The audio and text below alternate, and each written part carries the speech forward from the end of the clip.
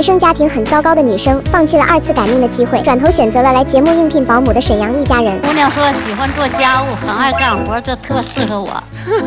女生二十七岁，经营这家网店，性格非常软糯，开场白一出口，直接俘获老一辈父母的心。我觉得各位叔叔阿姨家里应该缺少一个温柔可人的媳妇儿，所以我就来了。被问有什么喜好或者强项，女生的回答也非常讨喜。我特别喜欢做家务，然后捯饬家里。我是一个非常就是注注重家庭的一个姑娘，而且我会煮饭。煮饭。对，我喜欢就是把色香味都做到很好。这不，来自沈阳的大姨一听来精神了，随即抽查了起来。有许多不会做的，都不知了，那你该怎么办呢？啊，问家长啊。对。人间世事皆学问，生活处处有文章。不懂要学，这个是应该的。那就很欣赏你了。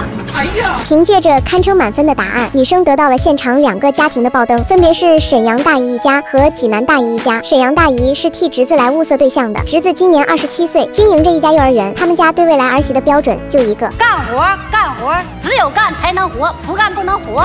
济南大姨是替自家儿子来把关的，大姨儿子二十二岁，目前在公司担任董事长助理。补充一句，董事长就是他爸，可想而知这家的。经济条件有多优越？爆灯之后，轮到女生介绍自家的家庭情况。这不介绍还好，一介绍，大家伙都沉默了，因为心疼。女生九岁那年，父母离异，她被判给赌鬼爸爸。爸爸只要心情不好，就会拿她出气。我爸爸只要心情不好，他就会冲进我房间，把我提起来就打，而且我会偷我的钱去赌博，在家里的墙上写着“刘娟，你去死啊”，真的很恐怖，这这没有办法想象，这是一个亲生父亲可以做的事情。这样的日子，女生过了整整七年，直到十六岁那年搬来和妈妈一起住，才逐渐摆脱家暴阴影。但他也因此落下。后遗症形成了很明显的讨好型人格。我为什么那么喜欢做家务？我是特别喜欢，就是。